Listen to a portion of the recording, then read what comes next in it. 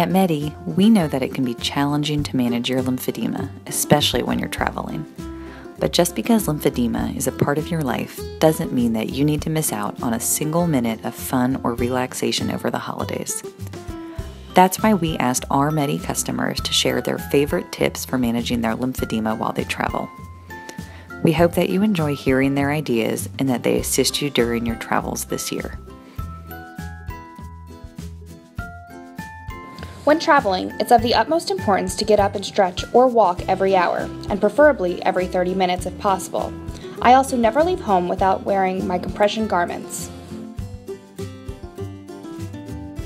I try to wear compression daily as it's the only thing that can provide me some relief from my lymphedema. I also try to be very careful with my skincare since it's easy to get infections or injuries that can cause problems with my lymphedema. It may sound simple, but I keep my lymphedema down by wearing compression socks. The ones I wear are very comfortable and totally do the job. I use compression to help manage my lymphedema when I travel. I also use a powder to protect my skin from irritation.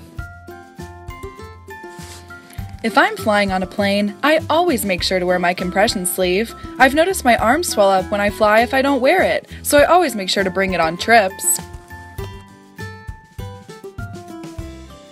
Before I go to a new city, I always look up a lymphedema therapist in the area and write down their phone number. So if I have an emergency, I have a number to call. When I travel with my wife who has lymphedema in her arm, I always bring a little first aid kit with band-aids, ointment, and lotion to keep her skin clean and protected if she gets a small cut or scratch on her arm.